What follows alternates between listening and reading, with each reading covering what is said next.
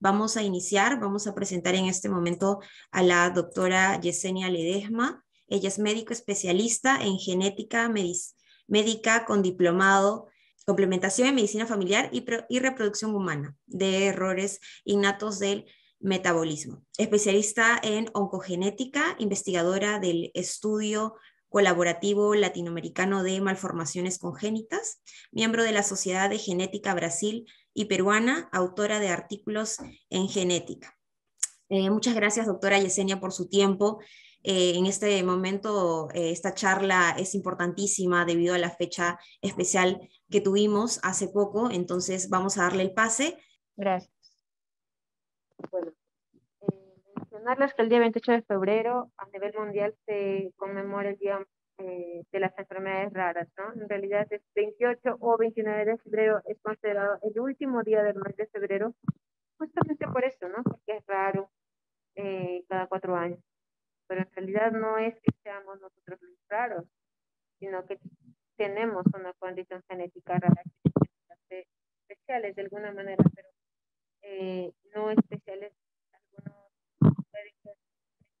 especiales y creer que la, el significado pues es una eh, es de alguna manera despectivo, pero no. En, este, en esta tarde les quiero eh, comentar que somos personas especiales en relación a que todos tenemos más de una malformación, más de un algo que nos distingue de otra persona y esa distinción de la otra persona, pues en algunos casos podría ser malformativa, en algunos otros casos no. Entonces, recordemos que el Día Mundial de las Enfermedades Raras pues es el 28 o en algunos casos el 29 de febrero. Siguiente. Avanzamos. Un momento.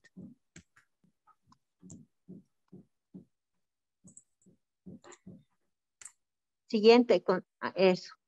Entonces, eh, son más de 300 millones de personas que tienen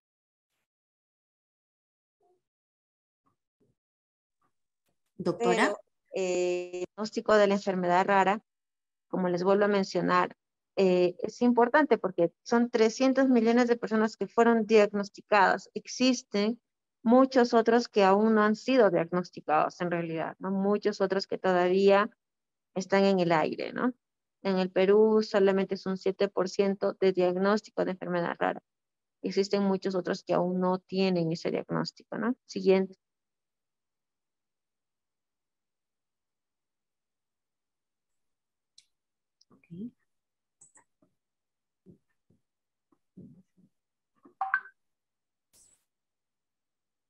Entonces, existen más de 6.000 enfermedades raras poco frecuentes y en nuestro país, o sea, Perú, afectan a más de aproximadamente 2 millones de personas. Y eso significa el solo, solo el 7% de los pacientes diagnosticados, ¿no? Nosotros tenemos que seguir sumando. Perdón, nosotros tenemos que seguir sumando esfuerzos para poder eh, de alguna manera diagnosticando, encontrando estas enfermedades raras. No solamente está Gaucher, sino en realidad pues existen otras enfermedades eh, desde síndrome de Down y otras síndromes eh, que también eh, no conseguimos diagnosticar a tiempo, ¿no? Simplemente, por ejemplo, no los bajitos, los acondroplásicos, esos pacientitos que son súper pequeñitos, y que bueno, uno no les dice, sí, es acondroplásico, pero ¿qué podemos hacer por ellos? En realidad podemos hacer mucho. Existen varios estudios en fase 3 que ya se habla de terapia génica, se habla de tratamiento con un antihistamínico súper súper básico, elemental, hace que crezcan estos pacientes, que tengan una, un crecimiento adecuado, un crecimiento mínimo, mejor dicho, ¿no? Para que puedan tener, desarrollarse de forma eh, eh, de forma que no tengan que depender de otras personas. Entonces, porque imagínense, en una persona súper bajita, para entrar al baño tiene que colocar un banquito, sus manitos son muy pequeñas, entonces existe la manera y hay tratamientos génicos ya aprobados por la FDA inclusive, así como en el caso de GoShare, que nos ayudan a dar un tratamiento oportuno, ¿no? Todo en, en, forma oportuna ayuda para nuestros pacientes, ¿no? Siguiente. Entonces, hay documentos normativos a nivel del MINSA, a nivel del Congreso, normas, leyes, todas ellas que nos ayudan a poder llegar a un diagnóstico eh, temprano. Lamentablemente, mucha de esta normativa pues no se cumple, ¿no? O simplemente se deja pasar por alto. Y eso es triste, ¿no? Porque eh, hace un tiempo llegó un pacientito con un abdomen súper grande, un niñito de 5 años, que lamentablemente no estaba haciendo el seguimiento adecuado en el MINSA. Eh, dieron por, le dijeron ¿no? al paciente que no, no sabían qué era y, se iba a quedar así, ¿no? Entonces, eh, entendamos que como profesionales tenemos que buscar, si es que no hay de una manera por el MINSA, busquemos asociaciones, busquemos eh, otro tipo de universidades, convenios, con tal motivo de llegar al diagnóstico y tratamiento de nuestros pacientes. No nos podemos quedar con los brazos cruzados y si hay alguna norma, alguna ley que no se cumple, pues sigamos, ¿no? Sigamos adelante, apoyando, tratando a nuestros pacientes, no con fin de lucro, sino con el fin de mejorar y darle calidad de vida a nuestros pacientes, ¿no? Siguiente. Eh, como les mencionaba, solo 7% de los 2 millones se han identificado en el Perú. ¿Por qué, no? Porque no se le da la importancia, porque no se entiende lo que en realidad significa y a lo que podría llevar una enfermedad, un síndrome, ¿no? Eh, algo hereditario. O, no, o no se toma en cuenta o no se ha valorizado hasta el momento en forma adecuada, ¿no? Existen, por ejemplo, pacientes con problemas cardíacos, eh, cardiomiopatías hereditarias, ¿no? Y algunos dicen, ¿y mi hijo puede tener? Puede, en qué casos, ¿no? Primero hay que hacer el estudio genético y verificar si es que lo que tiene es hereditario autosómico dominante o autosómico recesivo. Eso lo vamos a ver ahora en Gaucher. Existen la herencia, que es decir, que el papá y la mamá tienen que tener el gen eh, alterado para que el niño desarrolle la enfermedad. ¿O qué pasa con la consanguinidad también? ¿no? La consanguinidad también es otro factor importante, ¿no? Lo vamos a ver ahora más adelante. Siguiente.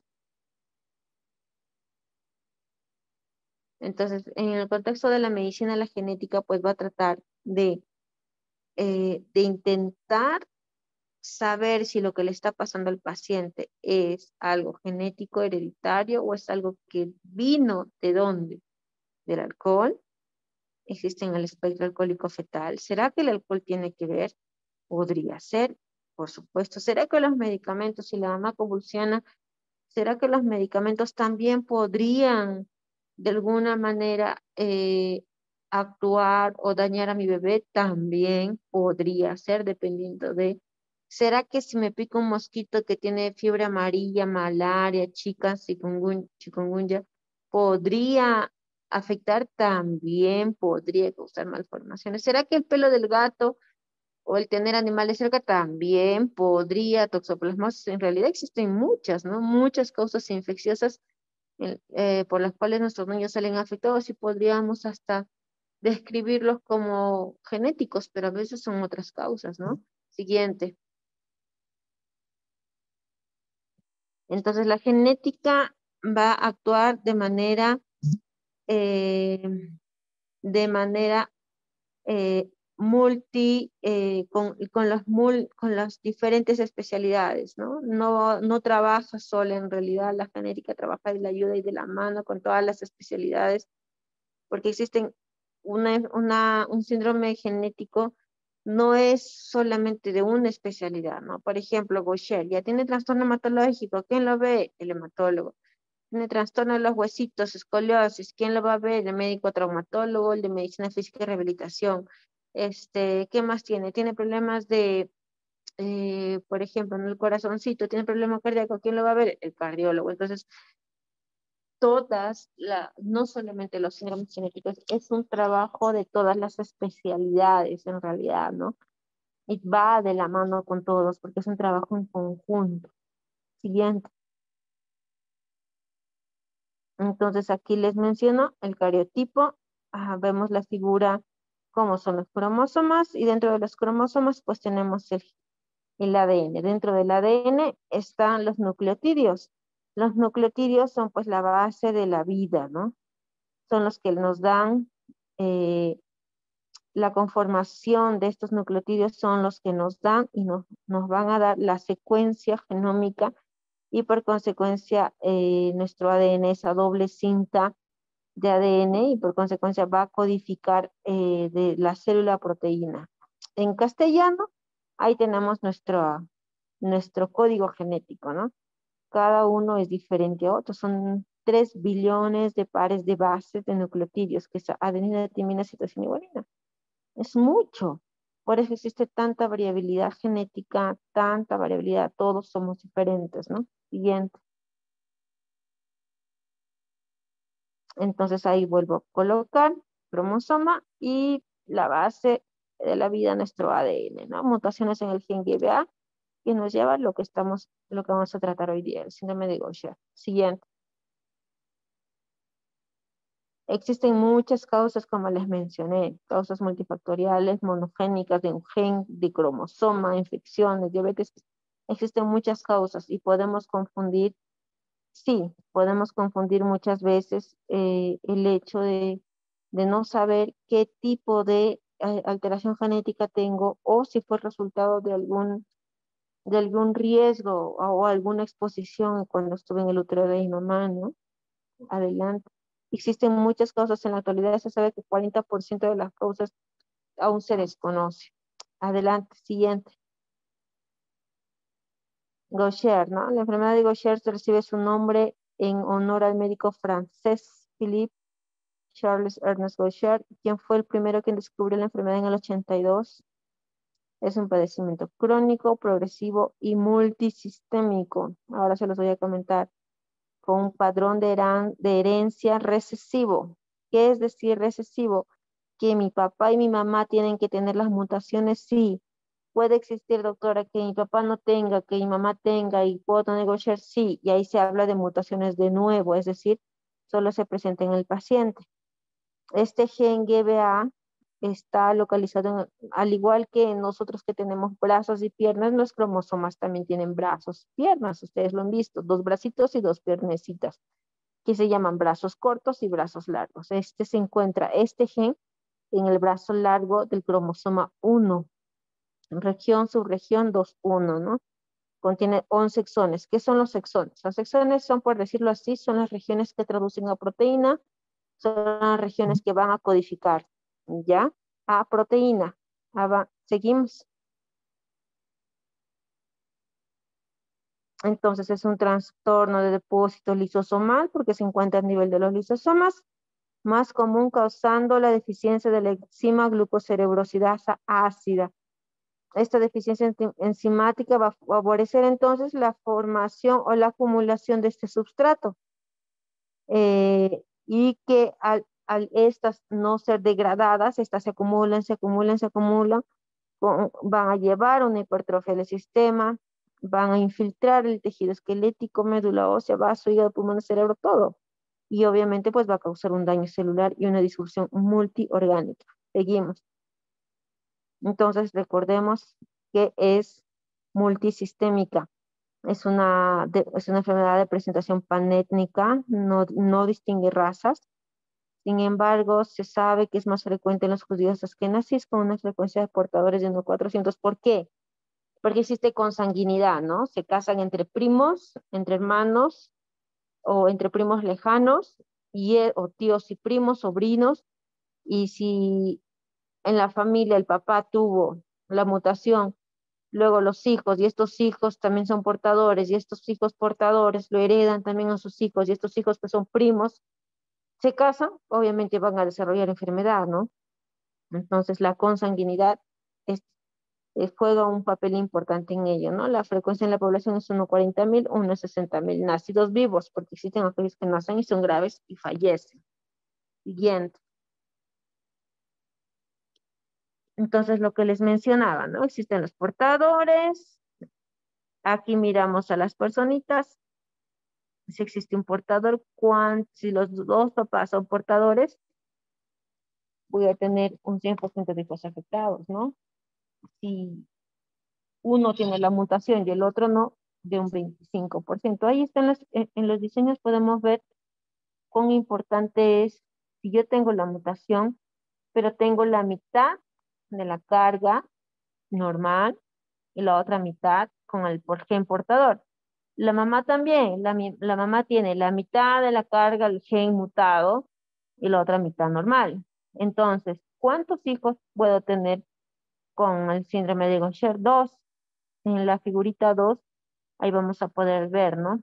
Y puedo tener un niño normal y puedo tener un niño, eh, sin, un niño normal sin mutaciones, uno afectado y dos portadores, ¿no? Entonces, eh, la segregación en la familia va a depender mucho de si los papás son portadores, si ha sido una mutación de nuevo, solo en el paciente, pero recuerden que necesito dos mutaciones para desarrollar la enfermedad, ¿ok? Siguiente. Entonces, ahí vemos lo que les explicaba, ¿no? Eh, las células afectadas son los macrófagos. Estos van a contener los lisosomas, los cuales se encargan de, degradar estructuras que eh, el macrófago fagocito en sustancias más pequeñas, pero para que puedan ser reutilizadas. Pero al tener una alteración no voy a conseguir hacer esa degradación, ¿no? Siguiente. Eh, como es una enfermedad de depósito lisosomal, existe la acumulación del glucocerebrócido o células de Gaucher que también las, las quieran llamar. Siguiente. Eh, la acumulación, como les mencionaba, va a causar alteraciones en el hígado, vaso y huesos. Es multiorgánica, ¿no? En realidad eh, pueden tener hasta atraso del desarrollo, escoliosis graves, problemas hasta cardíacos, ¿no? Hay mutaciones reportadas que son este, y que presentan alteraciones eh, inclusive cardíacas, multisistémicas. Recuerden, el diagnóstico temprano puede cambiarle la vida al paciente. ¿okay? Siguiente. Entonces existen varios tipos, la neuropática, la adulto, la aguda, subaguda. Entendamos de que eh, todo paciente con hepatomegalia, esplenomegalia, plaquetopenia, y que lo vea y que lo veamos con manchas rojas o hematomas en el cuerpo, tenemos que sospechar de Gaucher. Independientemente si en la familia no hay, lo tenemos que sospechar. ¿Por qué? Porque eso, como les menciono, si tú no lo has visto, no vas a poder identificarlo, ¿no?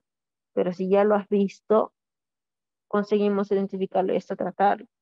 Pero siempre tengamos en cuenta.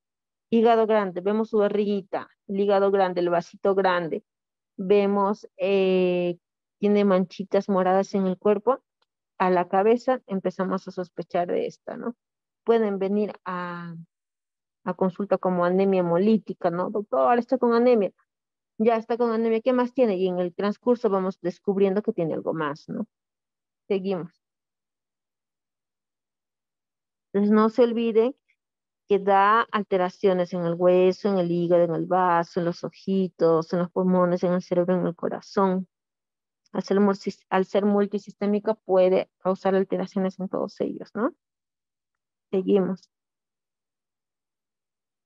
Eh, como les comentaba, cansancio en la mayoría 37%, 37%, casi 4 de 10, ¿no? 6 de 10 van a ser trastornos hemorrágicos, solo 6. Eh, uy, ¿qué pasó? Regresamos. Ya, ahí está bien. Eh, infiltración medular, 81%, dolor en el 34%, osteonecrosis, eh, dolor intenso, osteopenia que puede llegar hasta la osteoporosis, fracturas, colapso, destrucción articular también se pueden presentar en el tiempo, ¿no?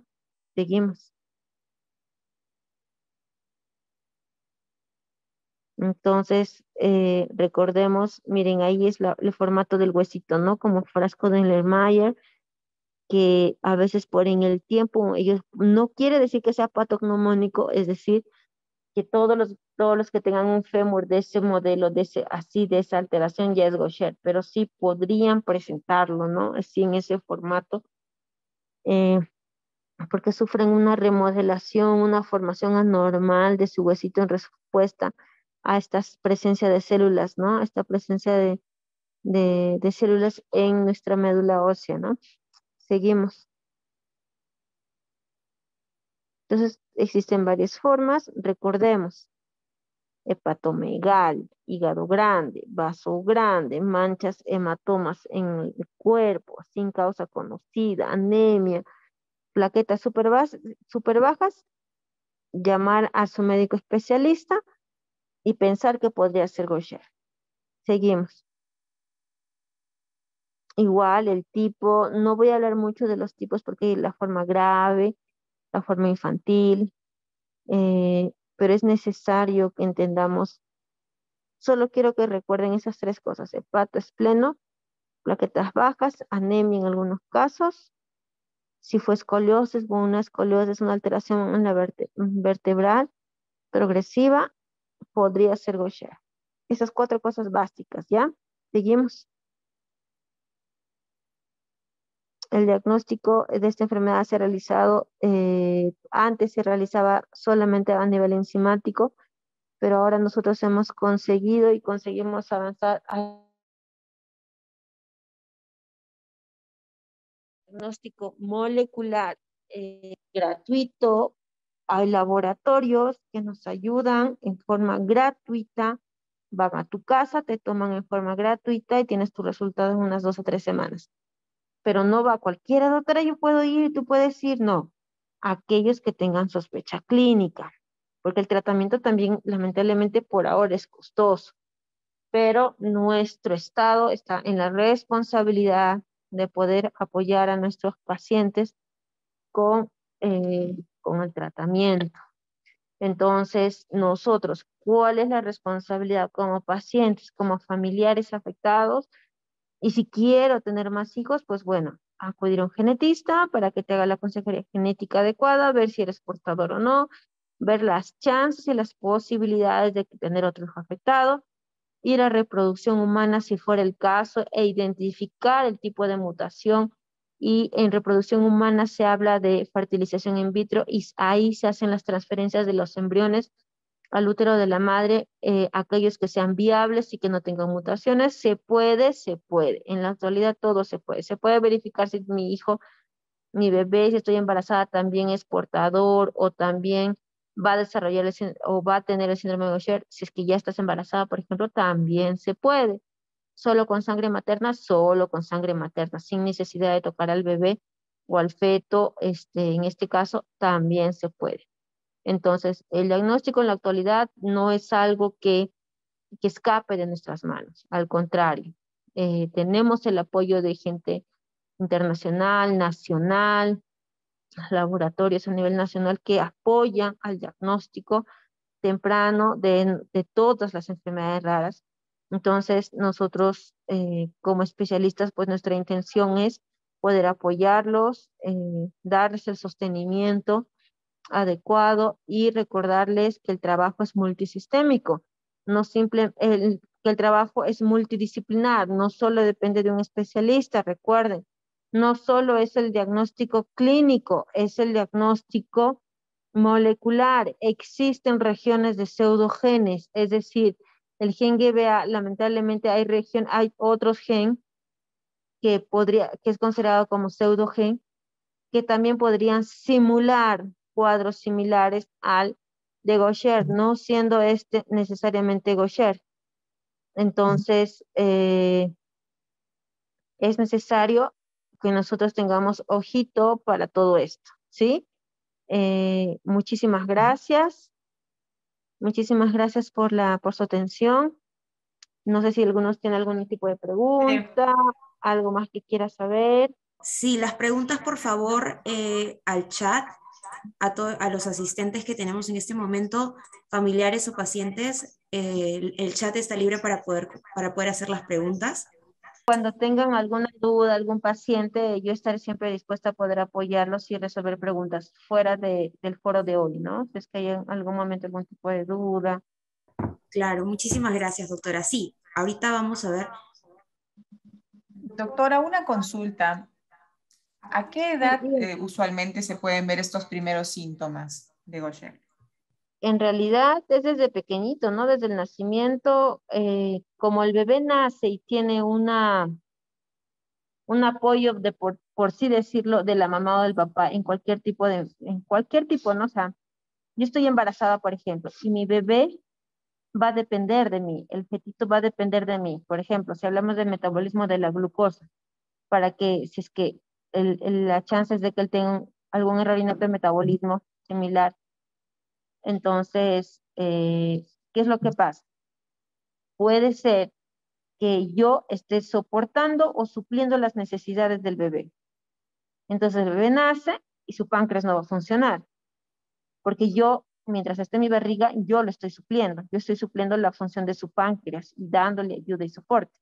Entonces, los bebés Gaucher lo mismo, en el tiempo, puede ser en meses, puede ser en años, las formas de adultas, puede ser un cambio simplemente leve, eh, que solamente lo va a presentar en el adulto, como un hepatomegalia, un hígado grande, así, súper leve, porque hay pacientes que presentan estas alteraciones eh, ya de adulto, o puede ser en la forma grave en los niñitos. Entonces, ahí, eso es, eso es lo que más nos llama la atención, ¿no? la forma grave de ellos, ¿Y por qué no hacerles este descarte si es que ya hay una alteración? ¿no? Eh, hace unas semanas llegó al Instituto Regional de Enfermedades Neoplásticas aquí en el IREN un chiquitín que era 5 o 7 añitos que llegó como anemia, una anemia plástica fue diagnosticado. Nada que ver con Gaucher. Y de ahí, pues, eh, él está en estudios, se le volvió a repetir algunos exámenes y resulta, pues, que ahí cuando se empezó a hacer la investigación, se pasó por alto un resultado, ¿no? Y fue pasado por alto, ¿ah? Y no sé si porque él estaba en otro idioma y no fue detectado. Y miren, o sea, son cositas como esas, que a veces no conseguimos identificarlos o interpretar el resultado adecuadamente. Doctora, ¿qué pasa con los pacientes que no toman su medicamento? Porque sabemos que Gaucher, en medio de todo, pues es una de las enfermedades poco frecuentes que sí cuenta con un tratamiento de reemplazo enzimático. Si el paciente no accede o no toma su medicamento, ¿qué es lo que puede suceder? Las causas más graves, la plaquetopenia que lo va a llevar a la muerte en realidad, ¿no? Las plaquetas van a bajar bajas, súper, súper bajas, van a empezar a sangrar y no va a parar lamentablemente, pues, eh, y ciertamente la terapia de reemplazo enzimático es cara, pero eh, como Estado, el Estado está obligado, ¿no? Hace unos días me enteré de que solo en el, no sé si será tan cierto, ¿no? Pero en el MINSA eh, solo les dan hasta los 16, 18 años y de ahí ya se desligan del paciente, ¿no? Entonces no sé hasta qué punto será eso cierto, pero lo más adecuado es de que los pacientes sigan con su tratamiento, porque es el tratamiento del resto de su vida. Ellos desarrollan una escoliosis grave, una escoliosis así que es totalmente deformante. Las plaquetas que siempre están cayendo, súper cayendo, pueden ser más desde defectos cardíacos, problemas cardíacos en el. En realidad es todo, ¿no? Todos los órganos que se pueden afectar es necesario siempre mantener un seguimiento adecuado, en la edad adecuada, eh, nosotros conseguimos identificarlos y cada cierto tiempo estar haciéndole sus controles, ¿no? Existen guías internacionales, eh, yo trabajo mucho con la guía de Porto Alegre, eh, en la Universidad de en Porto Alegre y ellos hacen una guía muy bonita en el trabajo de densitometría, tomografía, dosaje de enzimas, medición de la escoliosis, tratamiento de rehabilitación, de plaquetas cada cierto tiempo, viendo su desarrollo neuropsicomotor. Entonces el paciente tiene que tener todo derecho a tener al acceso de todos estos eh, beneficios, ¿no?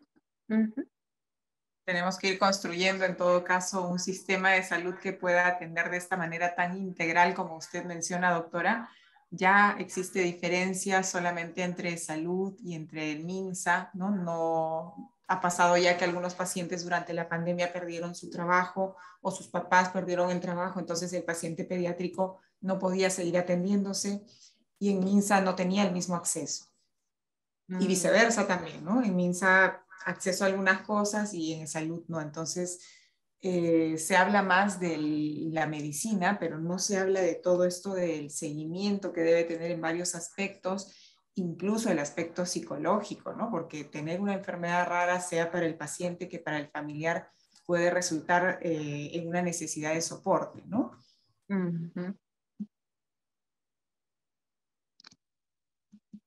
La dejamos de ver, doctora. ¿Qué pasó? Ahí, ya. Ahí está. Bueno, solo para terminar y decirles a los familiares y a los pacientes que nos acompañan hoy que estaremos siempre pendientes de ustedes, cuenten con mi apoyo siempre eh, en todo, ¿no? Eh, hace un tiempo un niñito con síndrome de Down me decía, doctora, doctora, ¿puedo tener hijos? Yo le decía, ¿por qué no? Doctorita, porque eh, también he explicado que yo no podría tener hijos, ¿no? Entonces, sí se puede, en la actualidad todo se puede. Existe la reproducción humana, los pacientes con Gaucher también pueden tener sus hijitos, se hace la selección de embriones. Eh, yo creo y creo que no es una medicina muy a futuro, sino que ya se está trabajando en el Perú y va a ser cada vez más accesible y espero que en el tiempo los costos aún para los tratamientos en Gaucher y en otras enfermedades raras sean cada vez más accesibles, ¿no? Mientras nosotros eh, como equipo de salud podamos seguir apoyándoles, pues, y seguir aprendiendo, porque la medicina no es algo que ya lo aprendí hoy día y ya se acabó. Todos los días vamos aprendiendo la medicina, los pacientes son los nuestros grandes maestros, los que nos están enseñando todos los días a que todavía falta muchísimo por aprender. Así que les mando un gran abrazo a todos. Cuídense, que nuestro buen Dios los bendiga y siempre estaré pendiente de ustedes. Muchísimas gracias, doctora Ledesma. Es siempre un honor contar con usted y con toda la sabiduría que nos transmite. Es importante, bueno, tenemos ese eslogan a nivel mundial que, que lo raro sea la indiferencia, ¿no? Que la sociedad en realidad no... Eh, deje de conocer las enfermedades raras y sobre todo los médicos también en general que no dejen de sospechar que cuando hay alguna cosa con un niño o con un recién nacido, eh, no hagan hasta tener pues un diagnóstico definitivo, ¿no? Que no, no busquen ese diagnóstico porque de eso puede depender la vida de esa persona.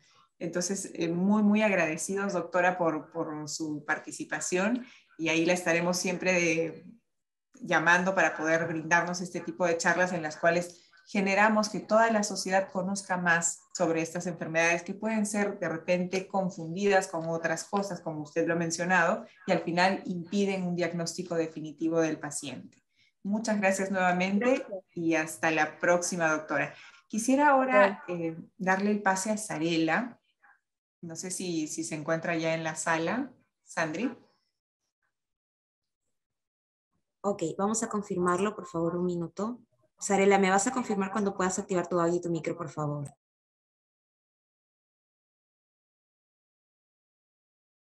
Mientras tanto, vamos recordando que son la enfermedad de Gaucher tiene alteraciones multiorgánicas y que cuando el hígado o el vaso es grande o está creciendo, cuando hay moretones, cuando podría haber una anemia eh, los pediatras deberían en primera instancia sospechar, pero también estamos los padres de familia, ¿no? Entonces, siempre investigar y si es que nos dicen no, no es definitivo el diagnóstico, pues persistir hasta poder lograr tener el diagnóstico. Hola Carla, ¿cómo están? Buenas tardes y los escucho. ¿Qué tal? Muy buenas tardes.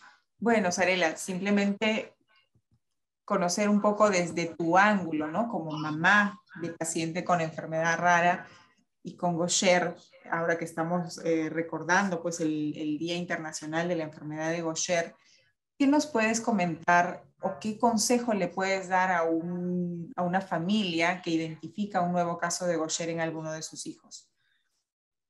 Eh, bueno, como aprovechando la exposición de la doctora, ¿no? Es cierto, el, pues los, el diagnóstico en nuestro país bueno, incluso en otros países es muy, es muy difícil, ¿no? Es muy difícil diagnosticar porque eh, principalmente pues los, los, médicos y todos ellos pues eh, confunden, ¿no? Confunden con otras enfermedades y, eso es lo que dificulta a que, el, a que el paciente pueda ya iniciar con un tratamiento de verdad certero, ¿no? Para que pueda mejorar su eh, calidad de vida, ¿no? En el caso pues de mi hijo, él fue diagnosticado después de dos años, ¿no? Si bien es cierto, las enfermedades raras y Gaucher, pues eh, normalmente se diagnostican pues en más años, ¿no? Gracias a Dios yo tuve la oportunidad y la posibilidad de, eh, de poder estar eh, consecuente en distintos hospitales, con distintos especialistas.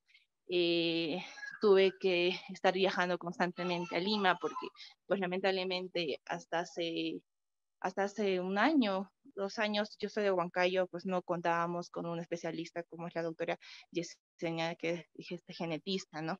Entonces eso a los pacientes dificulta, dificulta que no, no tengamos pues esto, acceso a especialistas y todo sea centralizado pues en, Lima. ¿Cuál fue tu principal dificultad eh, para el diagnóstico? ¿Cómo? No, te escucho. ¿Cuál ha sido la principal dificultad que has tenido para eh, localizar el diagnóstico definitivo de tu hijito? Eh, la falta de conocimiento de los, especialistas. Eh, me daban otros diagnósticos, me decían que él tenía, pues lo principal, ¿no? Esta enfermedad se confunde mucho con leucemia y hay muchos pacientes, así como a mi hijo, o incluso otros pacientes a los que se les hace todavía pues un aspirado de médula, porque se sospecha bastante de que sea una, una enfermedad de este neoplásico, ¿no? ¿Tú crees que de alguna forma el haber estado viviendo en Huancayo, en provincia, te ha dado alguna dificultad más? Eh, sí, claro, esa, esa, fue también otra, ese fue otro obstáculo, otra barrera, ¿no? Que nosotros este, como pacientes de provincia padecemos. si tú tuvieras la posibilidad de hablar con, con, los decisores, ¿no? con, en este caso con el ministro de Salud, eh, ¿qué le dirías respecto a esto? que nosotros los pacientes de provincia también existimos, ¿no? que nosotros necesitamos también bastante apoyo en lo que es de repente capacitar a los especialistas de provincia, eh, tener más, más charlas como esta de repente, ¿no? Para que los mismos especialistas puedan saber y conocer que existen este tipo de enfermedades eh, y que no todo esté centralizado en Lima, ¿no? Que no todo se centralice en Lima. También de paso yo quisiera aprovechar y yo bueno, mm, sé que ya en Argentina, por ejemplo, es un país ¿no? vecino, se puede decir, ya lo se ha aplicado en el caso de los estudiantes ¿no? de medicina, están ya pues esto llevando, creo que un, están ampliando sus conocimientos en cuanto a enfermedades raras, ¿no? Ya se incluyó eso en su currícula, creo. Entonces, de repente, eh, pedir que eso también sea una, se aplique en Perú, ¿no? Para que tantos médicos especialistas, médicos salgan, pues, ¿no? De nuestro país y también tengan conocimiento que existen enfermedades raras para que el diagnóstico en los pacientes sea a corto plazo. ¿no? De acuerdo. Sí, totalmente de acuerdo. Y en realidad es eso lo que se necesita, ¿no? Que esa voz de, de una mamá, de un paciente pueda llegar hasta los decisores para que generen el cambio necesario. En provincia también hay pacientes y necesitan el mismo acceso que los pacientes que puedan estar en la capital y sobre todo un acceso eh, que pueda dar lo mejor disponible para esa enfermedad. Tú hablas de Argentina, eh, la doctora hablaba también de Brasil, son países que están aquí al lado y que abordan de mejor manera, con más compromiso y más seriedad, eh, el, el, tema del acceso de los pacientes a su diagnóstico y a su tratamiento. Esperemos poco a poco generar también esos cambios para nosotros, para los peruanos. Y bueno, nuevamente agradecerte, Sarela, por estar, agradecerte por compartir y por supuesto también a la doctora Yesenia. Muchísimas gracias a todos, hasta la próxima.